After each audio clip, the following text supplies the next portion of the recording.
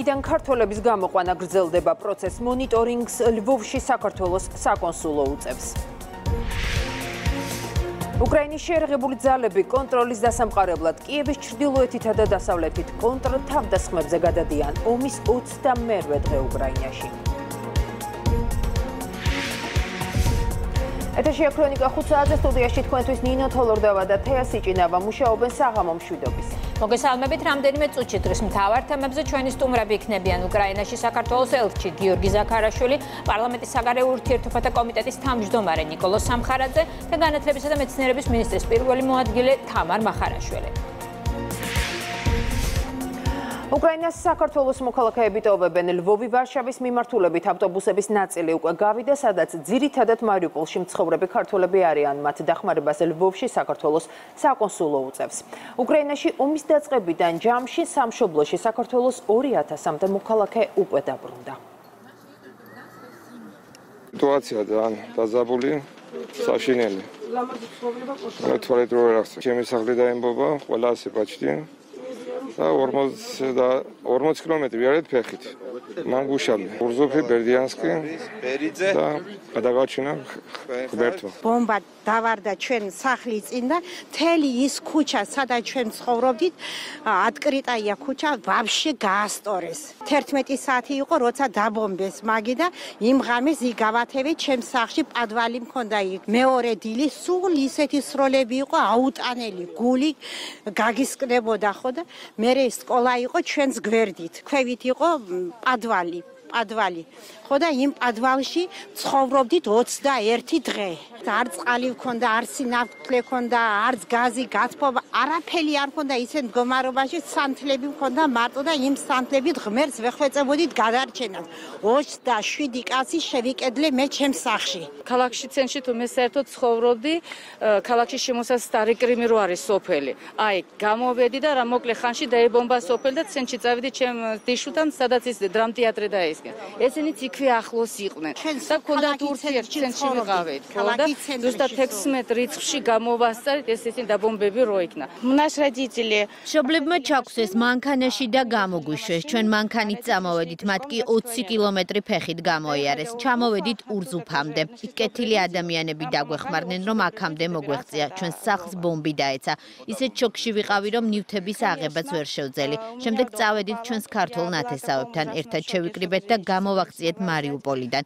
23 დღე მოვანდომეთ აქ ჩამოსვლას ახლა საქართველოსში მივემგზავრებით იქ ოჯახის წევრები ნათესავები და ახლობლები გველოდებიან უკვე მე-13 რეისი სრულდება ლვოვი ვარშავის მიმართულებით და რაც ყველაზე გვიხარია ჩვენ 20 ადამიანი ზის 20 საქართველოს მოქალაქე რომლებიც რამდენიმე დღის წინ გამოვიდნენ მარიუპოლიდან. ძალიან დიდი გაჭირვებით ძალიან ძიმე ვითარებიდან მოახერხეს გამოსვლა საბედნიეროდ. ჩავიდნენ ჯერ ბერდიანსკში, შემდეგ ზაპოროჟიეში, შემდეგ რივნოში, საიდანაც უკვე დღესდილას ჩვენი ავტობუსი წამოვიყვანეთ, ჩამოვიდნენ ლოვში და დანარჩენი საქართველოს მოქალაქეები დაждდნენ ავტობუსზე და გაემგზავრებიან ვარშავისკენ და შემდეგ უკვე დაბრუნდებიან საქართველოში.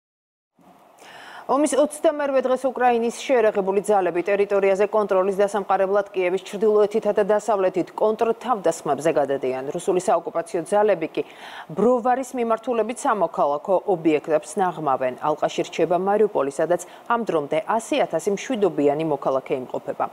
ქალაქში საომარი მოქმედებები მიმდინარეობს სულ ცოტა ხნის წინ ჩერნიგოვის რაიონში საავტომობილო ხიდი დაიბომბა, სადაც რუსი საოკუპაციო ძალები შეტევას განაგრძობენ.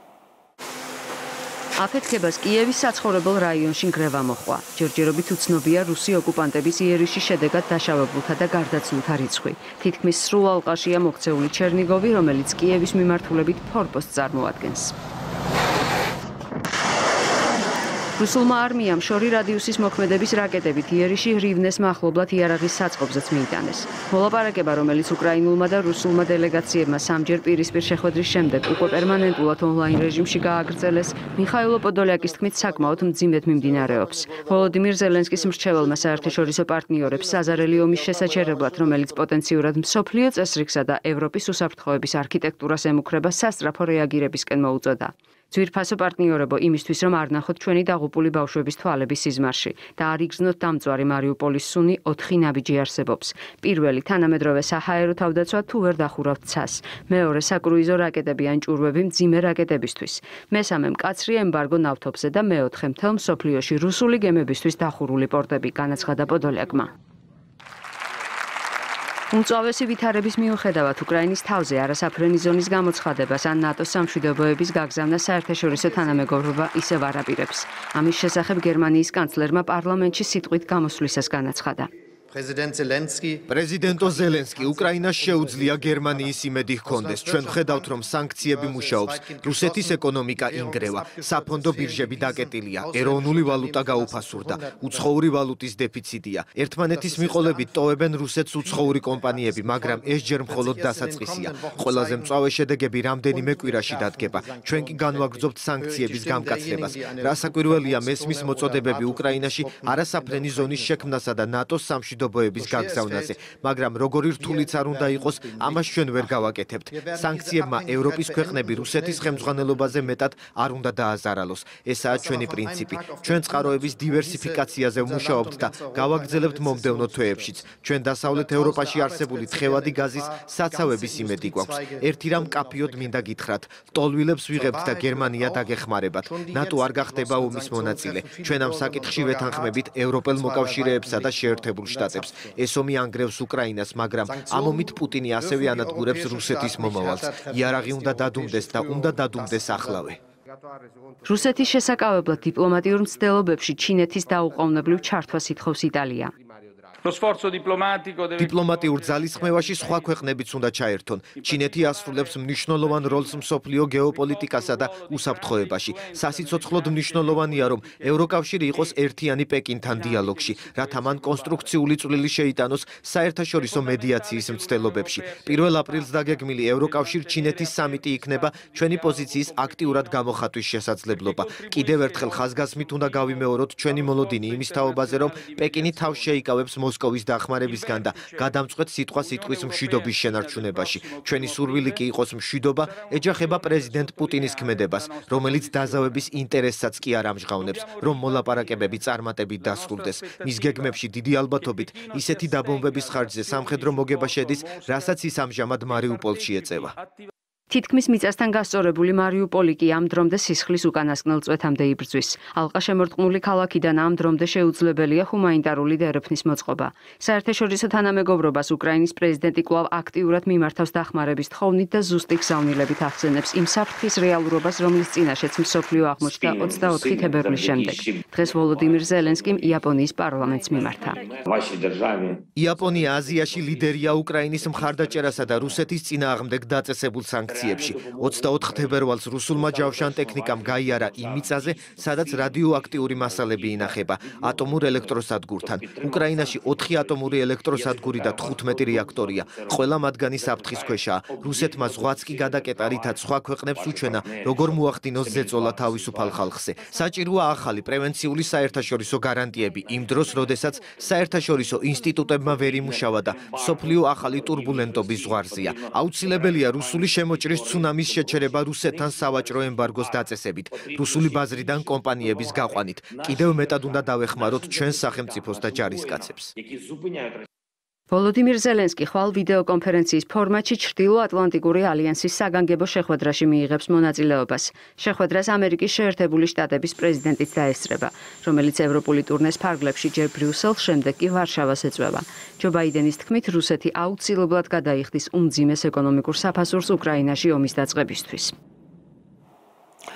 უკრაინის საელჩოში რუსეთ-უკრაინის ომში დაღუპული ქართველი მებრძოლების ოჯახებს მიუსამძიმრეს. ქეთს ვიხრით ქართველი გმირების წინაშე რომლებიც უკრაინის დაცვის დროს დაიღუპნენ მათ უკრაინას შესწირეს ყველაზე ძვირფასი რაც გააჩნდათ. საკუთარი სიცოცხლე ამის შესახებ უკრაინის საქმეთა დროებით მარწმუნებულმა საქართველოსი ანდრეი კასიანოვმა განაცხადა მან უკრაინაში ბრძოლის წინა ხაზზე მყოფ მოხალისეებზეც ისაუბრა და ჩვენს ქვეყანას ჰუმანიტარული დახმარებისათვის მადლობა გადაუხადა. უკრაინის შეერაღებულ ძალებთან ერთად აქტიურად გვიჩვენებენ გმირობასა და სიმამაცეს მოხალისეები საქართველოსთან. მათი აქტივობა ძალიან საშიში და ძლიერი ხდება მოწინააღმდეგეებისთვის. უკრაინის შეერაღებული ძალების სახმელეთო ჯარების სამეთაურო შეტყობინების თანახმად ქართულმა სამხედროებმა უკრაინის შეერაღებულ ძალებთან ერთად გაანადგურეს მტრის ტექნიკის კოლონა. სამწუხაროდ საბრძოლო მოქმედებების შედეგად არის დანაკარგები. თითოეული გმირის სიცოცხლე შეუფასებელია. დღეს ჩვენ კეთს ვიხრით ქართული გმირების წინაშე, რომლებიც დაიღუპნენ უკრაინის დაცვის დროს. უკრაინას შესწირეს ყველაზე ძვირფასი სიცოცხლე. მარადიული ხსოვნა მათ. ისინი ყოველთვის იცოცხლებენ ჩვენს გულებში. ნეიტრალიტეტის თემა, რომლის ნაციონალურმა მოძრაობამ აქტუალური გახადა დღეს კიდევ ერთ-ერთი მთავარი საკითხია, რომელზეც შეფასებები კეთდება პოლიტიკოსების მთავარი ადრესატი სააკაშვილის პარტია. პოლიტიკოსები პარტიას მოუწოდებენ დაასრულონ სპეკულაციები და შეწყვიტონ ამ თემაზე საუბარი, რადგან ამ საკითხის წამოწება პირდაპირ ქვეყნის მტრობას ნიშნავს. ქართულ ოცნებაში დღეს ისიც თქვეს, რომ პოლიტიკურ თამაშ გარეშე მყოფი ნაციონალური მოძრაობა ახლა პოლიტიკურ სცენაზე გამოსვლას მოგონილი და ქვეყნისათვის საფრთხის შემცველი თემებით ცდილობს. ნებისმიერი სუსტი ქვეყანა იტყოდა, რომ მე ნეიტრალური ვარ და თავს არ დამესხათ. ასე არ ხდება ნეიტრალიტეტის საკითხი.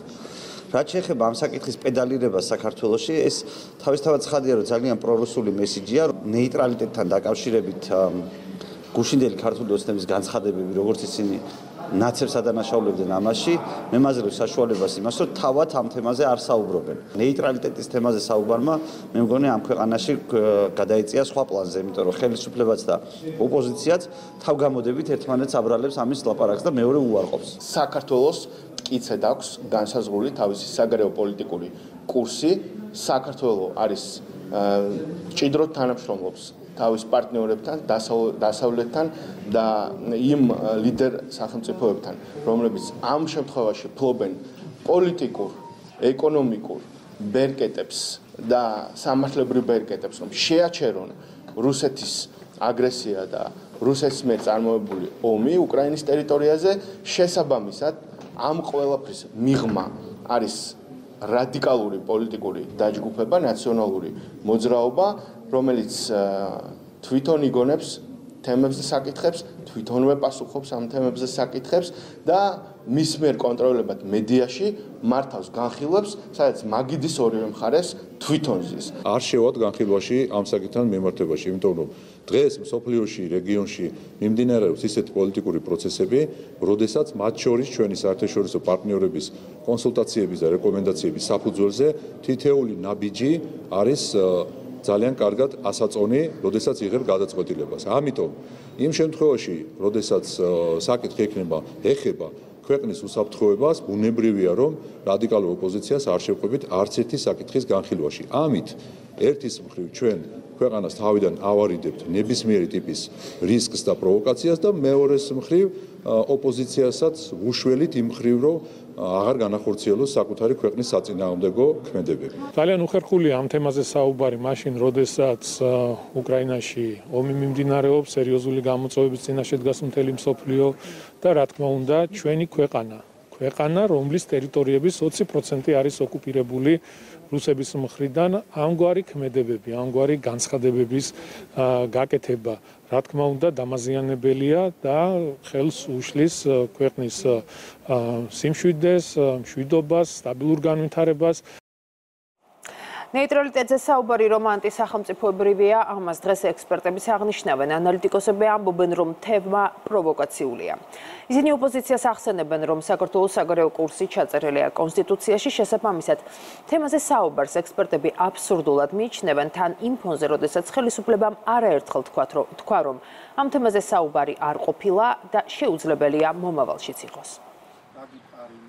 ეს არ არის მხოლოდ ნეიტრალიტეტის თემა, მათ ძალიან კარგად იციან. ეს კონსტიტუციურად არის გამყარებული და რა საჭირო ამ კითხვის დასმა თუ არა თეთრი წითელი ნაჭრის ფრიალი რუსეთისთვის და ტანდემში მოქმედება რუსეთთან. მე ამას სხვა ახსნას უბრალოდ ვერ პოულობ ამ აი ამ პროვოკაციების ქართული ოცნება აიძულეს რომ აი გამოსულიყო და ეთქვა თავისი პოზიცია და ნახევარ საათში რუსულმა სააგენტოებმა დაიწყეს უკვე იმის ბეჭდვა, რომ საქართველოს არაპირებს კურსიდან გადახვევას. ისტერია რაც არის ანტირუსული დაწყებული იმ პარტიის მხრიდან, რომელსაც ჩვენი ომი არ ადარდებდა არანაირად და აგვისტოს ომის შემდეგ ყველაფერი ჩააბარეს რუსეთს. ნეიტრალური სტატუსი, რომ ქვეყანა მიიღოს პირველ რიგში შენ სამეზობლო პოლიტიკა უნდა იყოს ისე გარანტირებული, ანუ წარმოვიდგინოთ, რომ რუსეთის ნაირი მეზობელი მინიმუმ არ უნდა ყავდეს და უნდა გახდნენ უსაფრთხოების გარანტი ქვეყნები. ეს საერთაშორისო დონის, არ ვიცი, ალბათ უმაღლესი დონის შეთანხმების საკითხია. ანუ უყურეთ როგორ აბსურდში შევდივართ თემა არის აბსურდული გამომდინარე იქიდან რომ ჩვენ კონსტიტუციურად გვაქვს ეს ყველაფერი გაწერილი და ასე სტატუსის ცვლილება ერთი ხელმოსმით არ ხდება. ეს არის ჰიბრიდული ომის ნაწილი რომელიც დაიწყო მიხეილ სააკაშვილმა და მას აყვნენ რადიკალები. ეს საკითხი კონკრეტულად მიხეილ სააკაშვილის მხრიდან 17 მარტს გააქტიურდა და შესაბამისად პირველი მან დაიწყო ამაზე საუბარი თუმცა მე შეეცადენ რაღაცა გაუგებარი და აბსოლუტურად რაღაც იაფასიანი მეთოდებით სხვაზე გადაბრალებას ამ საკითხის და ჩვენ ვიცით ნაციონალური მოძრაობის ბუნება ვიცით რომ ეს ადამიანები მოქმედებენ გაღმაში და გამოგმაში რჩებას პრინციპით და შესაბამისად ცდილობენ რომ ამ საკითხის ასე ვთქვათ აქტივ გააქტიურებისგან რამენაირად ასე ვთქვათ ჩამოირეცხონ ეს ლაკა საქართველოს ჩრდილოატლანტიკური ალიანსისკენ და ზოგადად ევროკავშირისკენ მისწრაფება არის ქართული ხალხის არჩევანი. შესაბამისად ეს საქართველოს დაფიქსირებული აქვს კონსტიტუციაში ეს სხვა სხვა ნებისმიერ სამართლებრივ აქტში ირაკლი ღარიბაშვილი პოლიტიკისა და პროგრამების საკითხებში USAID-ის ადმინისტრატორის მოადგილეს იზაბელ კოულმენს შეხვდა. ირაკლი ღარიბაშვილმა სტუმარ საქართველოსი ვიზიტისათვის მადლობა გადაუხადა თანამდებობაზე დანიშნა მიულოცა და მომავალ საქმიანობაში წარმატება უსურვა. შეხვედრისას ყურადღება დაითმო იმ ფაქტს, რომ წელს საქართველოსა და ამერიკის შეერთებულ შტატებს შორის დიპლომატიური ურთიერთობების დამყარების 30 წლის იუბილე აღინიშნება და ითქვა, რომ ორ ქვეყანას დღეს საერთო ღირებულებებსა და ინტერესებზე დაფუძნებული მტკიცე სტრატეგიული პარტნიორობა აკავშირებთ. ამერიკის საერთაშორისო გავითარების სააგენტოს ადმინისტრატორის მოადგილე შეხვდა შალბა პაპუაშვილის მხარეებმა საქართველოსა და USAID-ის შორის არსებულ მრავალწლიან თანამშრომლობაზე ისაუბრეს. შალბა პაპუაშვილმა ამერიკულ მხარეს საქართველოს გავითარებასა და გაძლიერებაში შეტანილი წვლილისათვის მადლობა გადაუხა და გააცნო საპარლამენტო პრიორიტეტები და სამომავლო გეგმები. შეხვედრაზე ხაზი გაისვა საქართველოს განაცხადს ევროკავშირის წევრობაზე იზაბელ კოლმანმა გამოხატა მზადყოფნა საქართველოს შემდგომი მხარდაჭერისათვის ევროკავშირთან დაახლოებასა და რეფორმების გახორციელებაში. მხარებმა აგრეთვე განიხილეს უკრაინაში მიმდინარე რუსული აგრესია.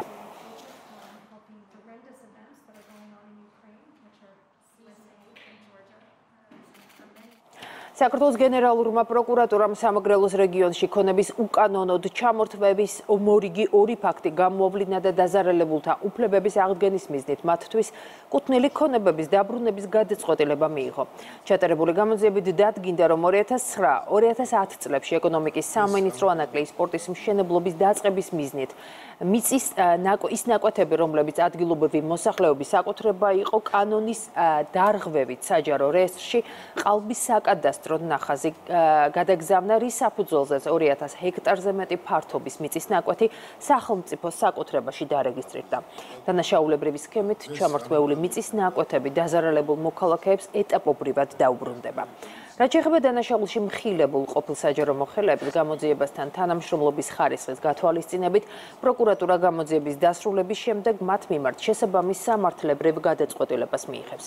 ასევე სამართალ წარმოების პროცესში ჩადენილი დანაშაულის გამოძიების დეპარტამენტში ჩატარებული ხელახალი სრულყოფილი და ობიექტური გამოძიების შედეგად ყოფილი მშავდებულების გაგი ხვედელიძისა და ვასილ დავითაიას მიმართ მიღებული იქნა გადაწყვეტილება გამომტყუნებელი განაჩენის გადასინჯვის შესახებ.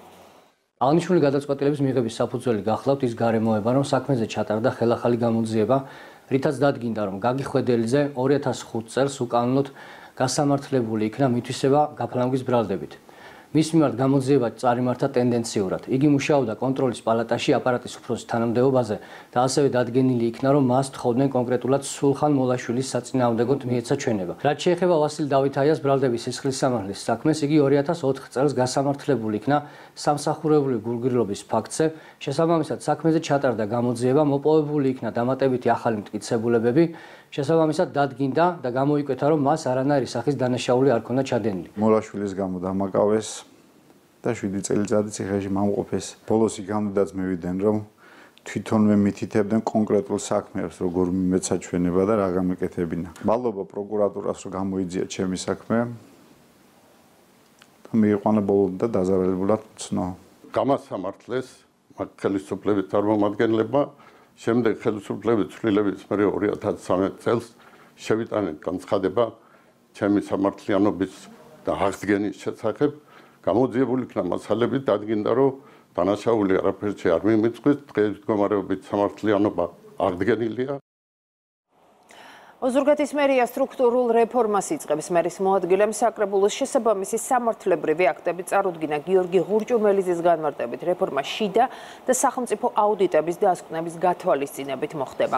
საკითხი ხმაურისა და ურთიერთბრალდებების ფონდზე განიხილეს ნაციონალური მოძრაობის წევრები. ამბობენ რომ მათ ეჭვი აქვთ რეორგანიზაციის ფარგლებში არასასურველ პირებს პოლიტიკური ნიშნით სამსახურიდან გაათავისუფლებენ. ისინი მერიის თანამდებობის პირებისათვის ხელფასების ზრდასაც აპროტესტებენ მერის მოადგილე ბრალდებებს უარყოფს ხმაური და სიტყვიერი დაპირისპირება 2021 წლის ბიუჯეტის შესრულების ანგარიშსაც. მოყვა ქართულმა ოცნებამ ყოფილი მერი კონსტანტინე შარაშენიძე. თანხების არამიზნობრივ ხარჯვასა და გასული წლის ბიუჯეტის პოლიტიკური ნიშნით შედგენაში დაადანაშაულა. სამუშაო ჯგუფის მიერ მოხდა სამართლებრივი აქტების პროექტების შემუშავება, სტრუქტურის შემუშავება საშტატო ნუსხის შემუშავება წარადგინა საკრებულოს შიდა აუდიტის დასკვნა ჩვენ გვახსოვს 2017-21 წლებში როდესაც თანამშრომლებს მაგ აუდიტის დასკვნით გათავისუფლებდა კონკრეტული მერი. არ მინდა რომ ამ აუდიტმა კიდე ისეთი დასკვნები დადოს.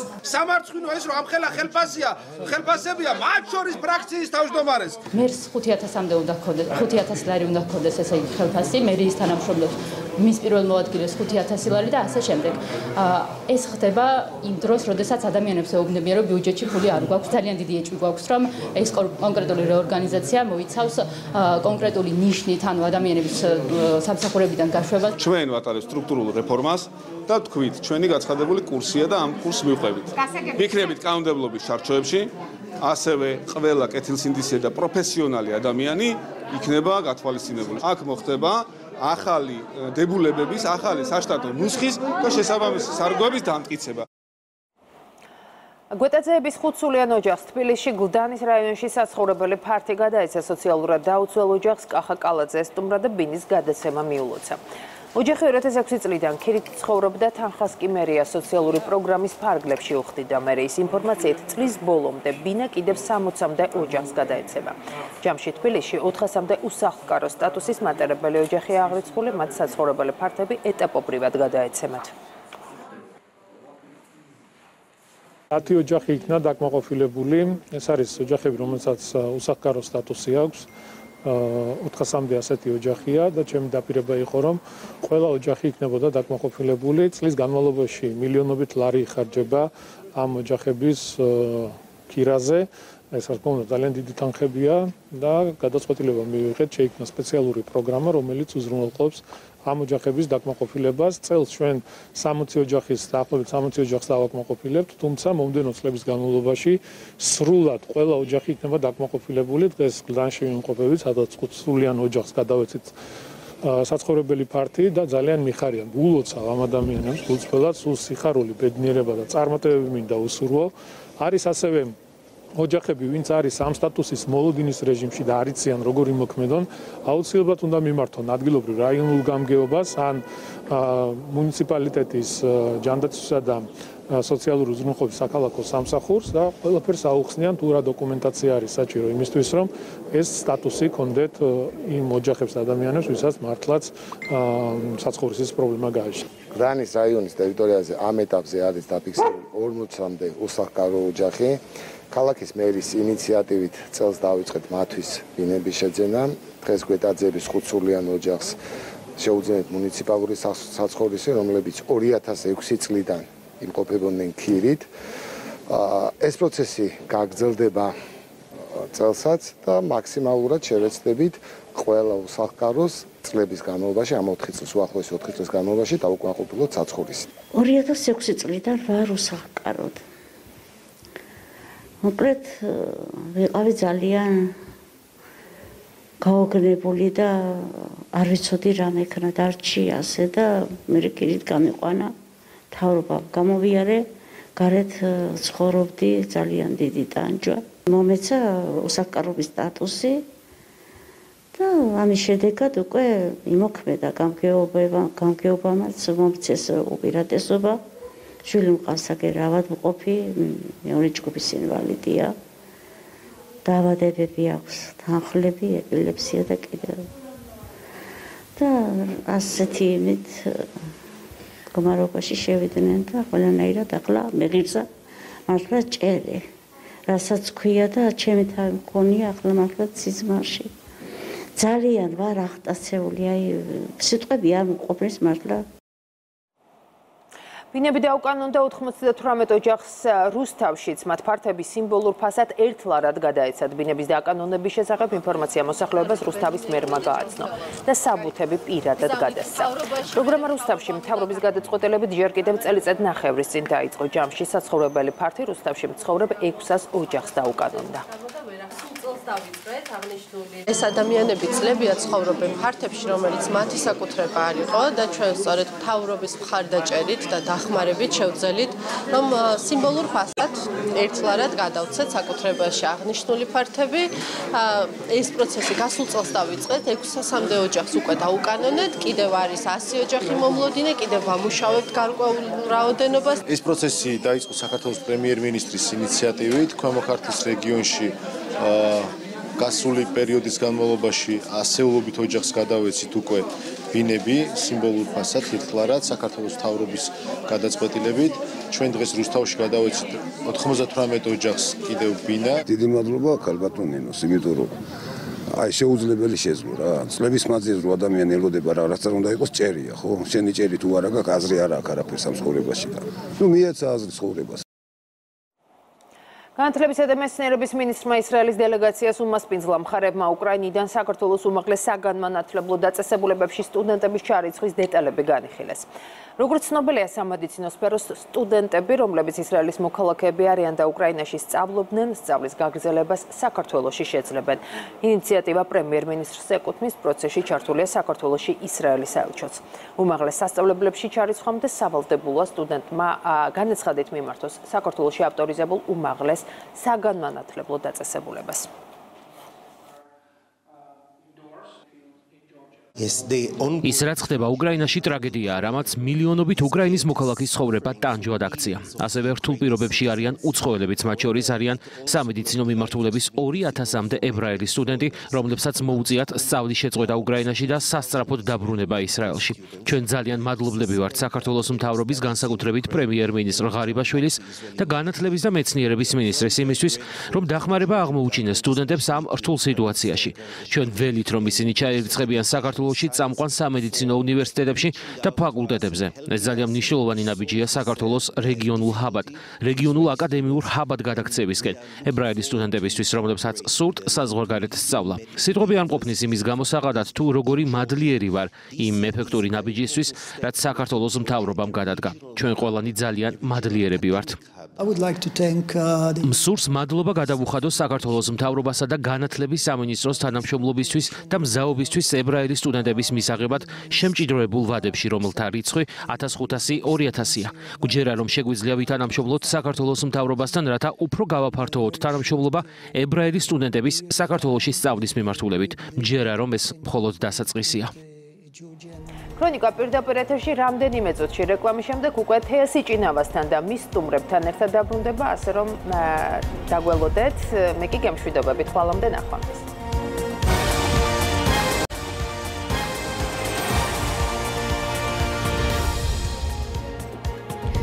ბრუნდებით პირდაპირ ეთერში მივესალმები ჩვენს პირველ სტუმარს უკრაინაში საქართველოს ელჩი გიორგი ზაქარაშვილი გვერდება. ეხლა მოგესალმებით ბატონ გიორგი, გმადლობთ გადაცემაში მონაწილეობისთვის.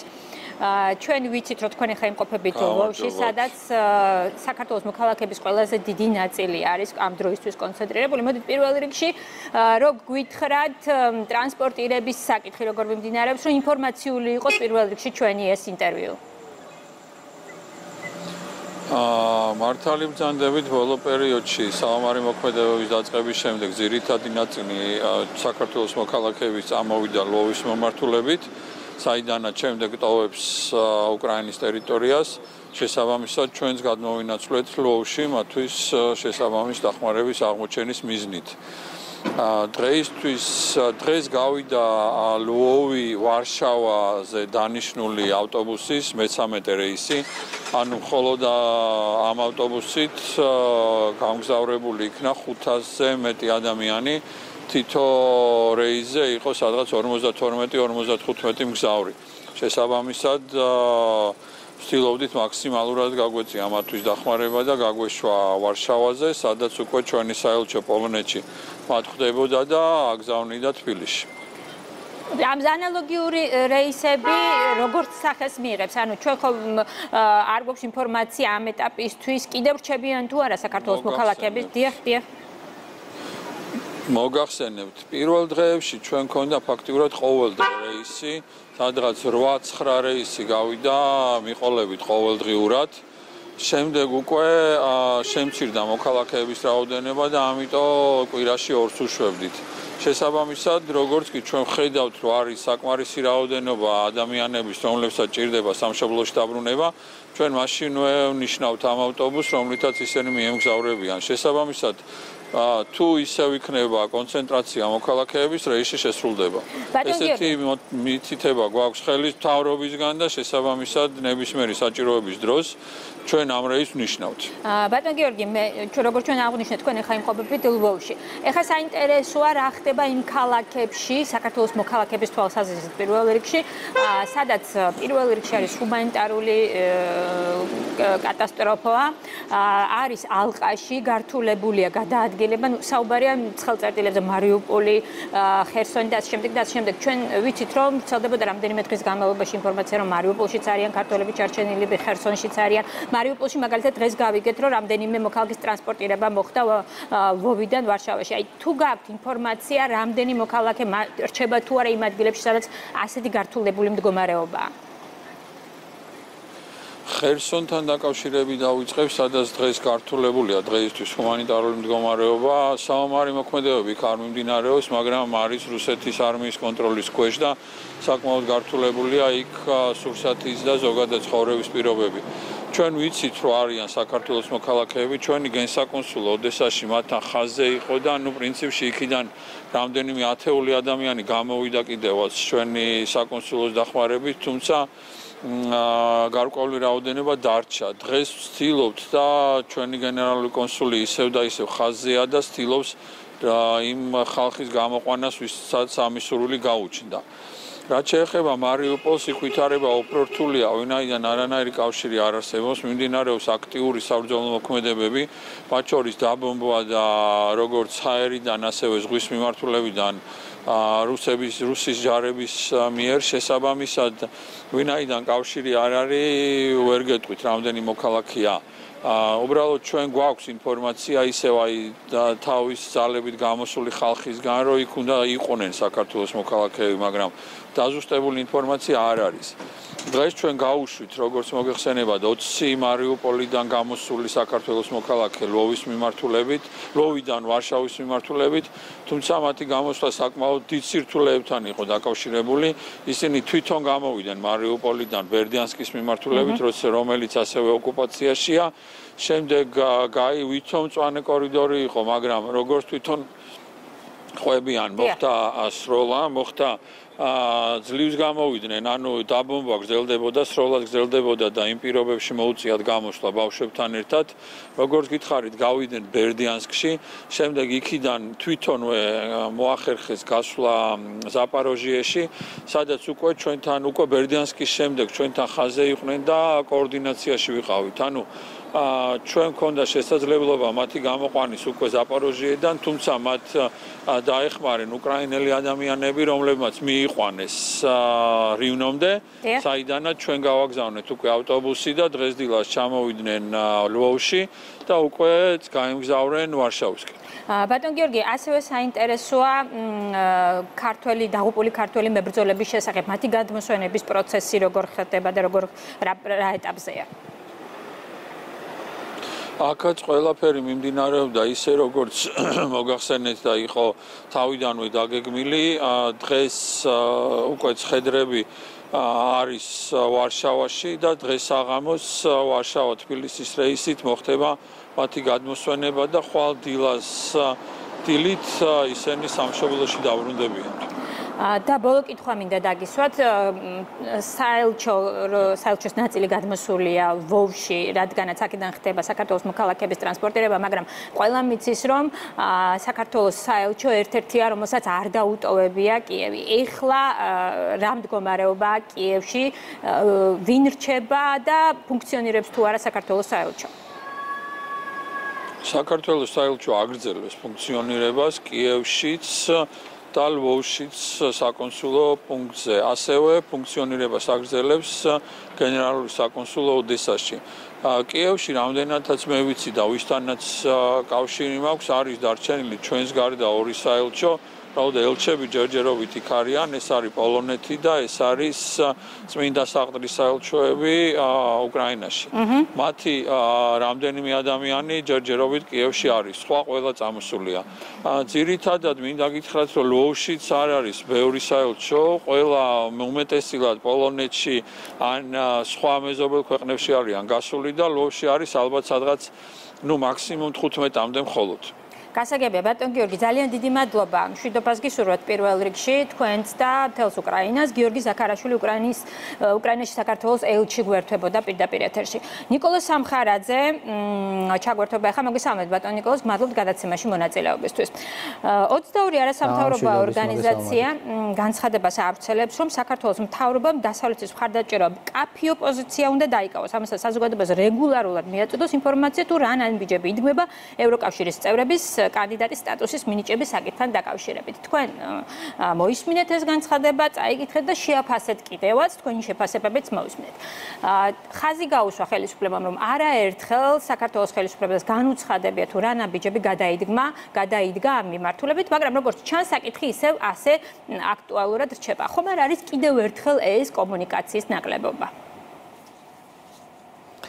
მოგესალმებით კიდევ ერთხელ. არა, მე არ მგონია რომ ეს კომუნიკაციის ნაკლებობა იყოს, იმიტომ რომ ვისაც უნდა და ვინც ამ სფეროში ჩახედულია, ან აინტერესებს და ახალ ამბებს კითხულობს ან უყურებს, ყველამ უნდა იცოდეს წესით რა ნაბიჯები გადადგა საქართველოს ხელისუფლებამ, რა საკეთებს დიპლომატიურ ფრონტზე და როგორ უჭერს მხარს როგორც უკრაინას, ასევე როგორ, ასე ვთქვათ, სინქრონშია და თანხვედრაშია ჩვენი ხელისუფლების ნაბიჯები დასავლეთის ქვეყნების ნაბიჯებთან საერთაშორისო ორგანიზაციებში. მაშინ რატო აცხადებენ ისინი რომ არ არის ეს მკაფიო, უფრო მკაფიო და ესე ვთქვათ, კვეთრი პოზიციის დაფიქსირება არის საჭირო? არ ვიცი, იცით რა, კარგი იქნება, კარგი იქნება თუ მათ ვკითხავთ მაგალითად გაეროს უშიშროების საბჭოზე ეუთოზე ან ევროპის საბჭოზე უფრო წონიანი დიპლომატიური ფრონტი სად არსებობს და სად შეიძლება კიდევ უფრო მეტად გამოვხატოთ ეს მხარდაჭერა და თუ ამას მოგვახსენებენ ისინი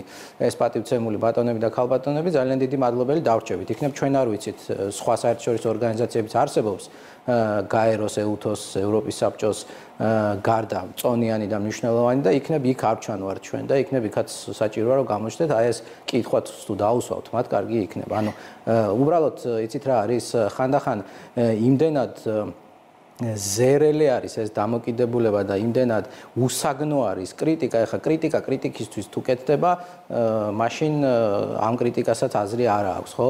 ჩვენ არასამთავრობოებისგან მოველით იმას, რომ რაღაცა საგნობრივი კრიტიკა იყოს და თუ რაღაცაზე შეიძლება ვთქვათ გაუმჯობესდეს, მათთან ერთად ვიმჟელოთ, მაგრამ როდესაც ეხა გამოდიან და ამობენ, რომ აი დიპლომატიურ ფრონტზე უფრო მეტი მხარდაჭერა, აი სად? ვეკითხები მათ პირდაპირ სად რომელ ორგანიზაციაში უნდათ მათ უფრო მეტი მხარდაჭერა რომ გამოხატოს. მეორე საკითხი იყო ამ განცხადებაში, არასამთავრობოები ასევე მოგიწოდება რომ ქართულმა უცებო უარი თქვა სიძულვილის ენაზე დადგეს ვიწრო პარტიულ ინტერესებზე მაღლა და გააკეთოს ყველაფერი საზოგადოებაში პოლარიზაციის შესამცირებლად. ანუ რიტორიკა რომელიც აქვს ქართულ ოცნებას არჩეული, ეს პოლარიზაციის ხარის უფრო მეტად ზრდის. ასეთი არის ამ განცხადების შინაარსი. არა და პოლარიზაციის გაღრმავება ეხლა ყველაზე მეტად შეიძლება დამაზიანებელი იყოს ამ სიტუაციაში. არ მეთანხმებით? რა თქმა უნდა გეთანხმებით რომ პოლარიზაციის გაღრმავება ძალიან დამაზიანებელია. თუმცა აქ უკვე არასამთავრობოები აშკარად აჩენენ არაობიექტურობის და არასამართლიანობის საკუთარ სახეს. იმიტომ რომ ქართულ ოცნებას დააბრალო პოლარიზაცია მაშინ როდესაც ნაციონალური მოძრაობის წევრები დღედაღამე არა მხოლოდ ქართულ არამედ უკვე უცხოურ მედია საშუალებებშიც ავრცელებენ დეზინფორმაციას ხან ვითომ სამხედრო თვითფრინავმა გადმოკეთა ქართულიცა. ხან ვითომ პარლამენტის განათლების კომიტეტს თურმე სამი მოსმენით მიუღია რუსული სექტორის აღდგენის საკითხი. ხან თურმე მოქალაქეობის გამარტივებას ვაპირებთ. აი ურცხვი ტყუილები აი ძალიან მაინტერესებს ასევე არასათმთავრობო ორგანიზაციებს ვინც ეს განცხადება გაავრცელა. ვკითხოთ რომ ეს ტყუილები რომელიც მათ გაავრცელეს ეს არ უწყობს ხელს პოლარიზაციას. ანუ ამ შემთხვევაში ჩვენ ვიცით ეს არასამთავრობო ორგანიზაციები ვის წარმოადგენენ, რას წარმოადგენენ. პირველ რიგში, ესენი არ წარმოადგენენ საზოგადოებას და სწორედ ეს არის ყველაზე დიდი პრობლემა საქართველოში, რომ არასამთავრობო ორგანიზაციების ძალიან დიდი ნაწილი არ წარმოადგენს ჩვენი საზოგადოების ინტერესებს და სწორედ ამიტომ მათი ნდობა საზოგადოებაში არის ძალიან დაბალი.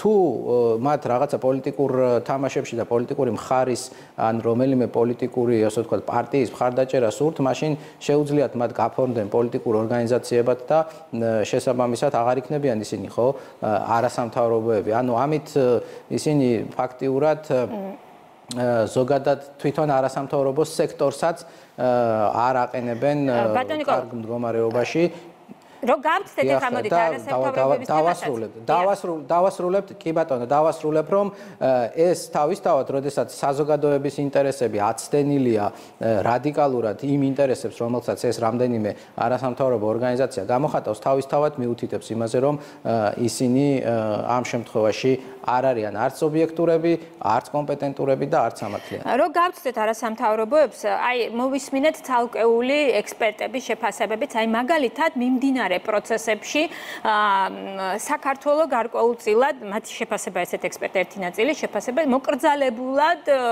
საუბრობს ჩვენი ქვეყნის დეოკუპაციის საკითხებზე, მაგალითად ცხინვალის და აფხაზეთის დეოკუპაციის საკითხებზე, არა სამხედრო თვალსაზრისით, არამედ პოლიტიკური თვალსაზრისით. მაშინ როდესაც საერთაშორისო დონეზე აქტიურად მიმდინარეობს საუბრები იმის პარალელურად რაც ხდება უკრაინაში, მაგალითად ლუგანსკის და დონეცკის ოლქის სტატუსებთან დაკავშირებით, ანუ აქაც ექსპერტთა ერთ ნაწილს დარჩა განცდა, რომ საქართველოს აქტიურად არ საუბრობს, რომ რუსეთმა უნდა შეასრულოს 2008 წელს ხელშეკრულებით ნაკისრი ვალდებულებები. ამ პრეტენზიას რას უპასუხებდით? და სად არ საუბრობს ეს ექსპერტები რას ამბობენ ამ საერთაშორისო დასავლეთთან დასავლეთთან მიმართებაშიო და რა იციან, აი ზუსტად ამაშია საქმე, რა იციან ამ ბატონმა ექსპერტებმა, რაზე საუბრობს საქართველოს სამთავრობა ან პარლამენტის წევრები, როდესაც ხვდებიან საერთაშორისო ორგანიზაციის ან პარტნიორი ქვეყნების წარმომადგენლებს. ისინი აქ შედან ამ ოთახებში და ისმენენ ამას თუ რაზე დაფუძნებით ამბობენ ისინი ამას. აი სრულად გაუგონარია ასეთი რაღაც, როდესაც უაპელაციოდ ხდება რაღაცეების განცხადება, როდესაც ეს ამისი არც მტკიცებულება გაქვს, არც ფაქტი გაქვს. ეს არის სწორედ პრობლემა ჩვენს ქვეყანაში, რომ ნებისმიერ ადამიანს დაირქმევს ექსპერტს თუ არ ვიცი ვიცი რა სახელსაც ნებისმიერი რაღაცა განცხადების გაკეთება შეუძლია და მე ჩვენ ამაზე კომენტარები უნდა ვაკეთოთ. სრულიად უადგილოა ეს საქართველოს ყოველთვის ყველა საერთაშორისო პლატფორმაზე აყენებს საქართველოს ტერიტორიების დეოკუპაციის საკითხს და ეს არც ასე ვთქვათ არ შემცირებულა არანაირად ეს აქტიურობა და მომავალშიც მუდმივად გაგრძელდება. ეს არის მთავარი პასუხი ამ თქვენს კითხვაზე და რაც შეეხება ამ ადამიანების ასე ვთქვათ ბჭყალებში წუხილს ვურჩევ რომ გაეცნოს გაეცნონ ისინი იმ ოფიციალურ ქრონიკას რომელიც თითეული შეხვედრის შემდეგ იდება ხოლმე სახელმწიფო სტრუქტურების და მათ შორის პარლამენტის საიტზეც და კარგად ამოიკითხავენ იქ რა თემებზე მიმდინარეობს საუბარი. და ბოლოს, ბოლო ორი დღის ყველაზე აქტიური, განხილვადი და სასაუბრო თემა ეგრეთ წოდებულ ნეიტრალიტეტთან დაკავშირებით. თქვენ ამაზე ცოტა ხნის წინ ოპოზიციას გამოეხმაურეთ კიდევაც. ჩვენ მოვისმინეთ ხელისუფლების შეფასება, საიდან დაიწყო ამ თემის გააქტიურება. აი როგორ დავასრულოთ ამ ეტაპზე ამ თემაზე მაშინ საუბარი. ძალიან მარტივად შეიძლება ამ თემაზე საუბარ საუბრის დასრულება განსაკუთრებით ოპოზიციური მედიის წარმომადგენლებმა აღარ უნდა დასვან ეს კითხვები და თავისთავად დასრულდება და თემაც დაიხურება, იმიტომ რომ მართლაც მართლაც არ ვიცი, მტრობა არის საკუთარი ქვეყნის, როდესაც შენ დღეს უკაცრავად ამ სიტყვისთვის შემოაგდებ ნეიტრალიტეტის თემას, მაშინ როდესაც საქართველოს ძალიან მткиცეთ აქვს არჩეული ნატოში ინტეგრაციის კურსი და ევროკავშირში ინტეგრაციის კურსი და ამაში მოსახლეობა არის ერთიანი და ეს ყველაფერი წერია კონსტიტუციაშიც კი. აი რას მიზნებს უნდა ემსახურებოდეს საერთოდ ამ თემის აწევა თუ არა მათ მავნებლურ მიზნებს რომ კიდე ერთხელ დააზიანონ საკუთარი ქვეყანა და მოსახლეობაში და ჩვენ საზოგადოებაში კიდე ერთხელ გააჩინონ რაღაცა მედიაში ოპოზიციური თუ როგორ განწყობილიც ისინი კითხებს სვამენ ეს ცალკე თემაა მაგრამ მე გეუბნებით თქვენი კოლეგები პოლიტიკოსები რომლებიც ამაზე ღიად საუბრობენ და ამბობენ რომ მაგალითად საქართველოს ხელისუფლება მიიღო ამაზე ღია დირექტივა. ხო, ნუ ეს ერთ-ერთი ქალბატონის მე ბოდვა უწოდე მას არ ვიცი ანუ თვითონ ამბობს რომ მას აქვს ინფორმაცია რომ რუსეთის ხელისუფლებამ ზეწოლა მოახდინა საქართველოს ხელისუფლებაზე და აიძულა რომ ნეიტრალიტეტზე დაეწყო საუბარი. და საიდან აქვს ეს ინფორმაცია? რუსეთის ხელისუფლებიდან აქვს ინფორმაცია? შემთხვევით რუსეთის აგენტი ხომ არ ბრძანდება ეს ქალბატონი? და თუ რუსეთის აგენტი არ ბრძანდება მაშინ მაშინ ვინ აძლევს ამ ინფორმაციას. ანუ სრული ბოდვა და სისულელი არ ღირს ამაზე კომენტარების გეტყვი გასაგები. კარგი, ძალიან დიდი მადლობა ნიკოლოზ სამხარაძე პასუხობდა ჩვენს კითხვებს. მადლობთ გადაცემაში მონაწილეობისთვის და განათლებისა და მეცნიერების მინისტრის პირველი მოადგილე თამარ მახარაშვილი უპასუხებს ახლა ჩვენს კითხვებს. მოგესალმებით ქაბატონ თამარ. განათლების სამინისტროს ცნობით უკრაინელი მოსწავლეებისთვის, რომლებიც ომის გამო სამშობლოში სწავლის გაგრძელებას ვერ ახერხებენ, საქართველოს სკოლებში ჩარიცხვის წესები გამარტივდა. მოდით მაყურებლისთვის, დაინტერესებული პირებისთვის პირველ რიგში, რომ აუხსნათ, რას ნიშნავს ეს გამარტივებული წესი. ეს ახლა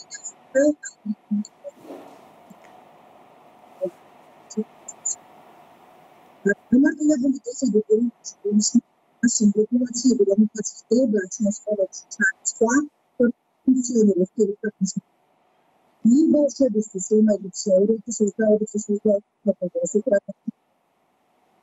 გამო ის ვერ ახერხებს რადგან სასწავლო პროცესში უკრაინაში დაქსურული ჩვენთან ჩვენ სკოლებში გაქცევას სასწავლო მათთვის მოხდა გამარტივება ამ წესისა და გამარტივებული პროცედურა ხდება მათთან და ასე ვთქვათ არანაირი რეგულაციები რომელიც აქამდე არსებობდა და არსებობს ხელშეკრულებაში მათ არ ეხება თუმცა ზუსტად იმითაც დასვით ისინი აღარ საჭიროებენ ეს აღიარების სხვა გავლას მოგესალმებით განათლების ხარჯის განვითარების ეროვნული ცენტრი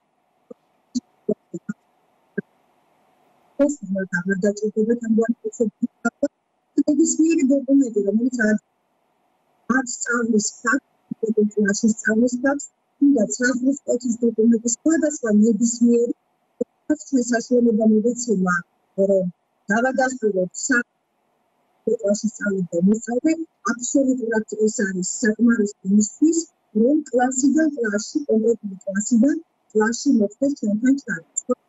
მაგრამ ეს დამუშავდა ამოქმედდა და შესაბამისად დღევანდელი სტატისტიკა შემოიარსებებით რომ 130 განაცხადია სკოლებში შესული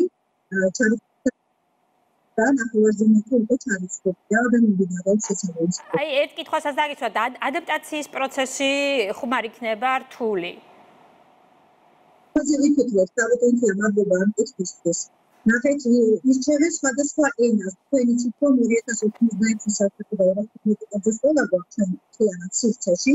და შესაბამისად ყველა საშუალება გვაქვს იმისთვის რომ შევთავაზოთ ისინი არის ადაპტაციაზე ვიზრუნე და ვიფიქრეთ ეს ფსიქოლოგიური სამსახური, რომელიც ფსიქორეაბილიტაციას თავაზობს პარალელურად ასევე არის სწორედ ჩვენი მანდატური სამსახური, ჩვენი ერთ-ერთი სააგენტო, რომელიც შესაბამის კონსულტირებას უწევს და ძალიან ეხმარება თვითონ სწორედ.